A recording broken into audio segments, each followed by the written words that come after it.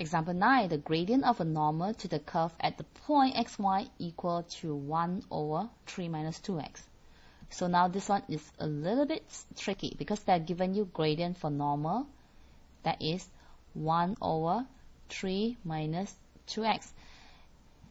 This curve passes through the point 3, 5. Find the equation of curve. Whenever you want to find the equation of curve, you must think of the dy dx. You have to find the dy dx here. So how to find dy dx? dy dx actually is your gradient for tangent.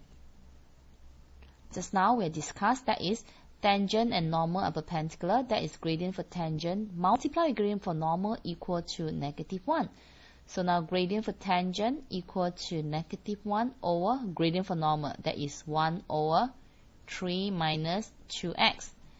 Therefore, you have gradient for tangent equal to 2x minus 3. This is actually your dy dx. So now you have dy dx. You can find the equation of curve by integrate your dy dx. So remember, dy dx actually is uh, the gradient for tangent and gradient for tangent multiplied with gradient for normal equal to negative 1. So integration, you have 2x squared over 2, that is x squared minus 3x plus c.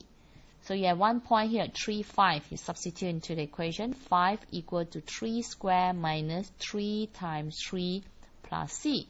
c equal to 5. Therefore, equation of curve y equal to x squared minus 3x plus 5. B. The equation of tangent at the point 3, 5. Equation of tangent, very simple because you already have dy dx. That is 2x minus 3. When x equal to 3, dy dx, that's the gradient for tangent, equal to 2 times 3 minus 3, which is equal to 3.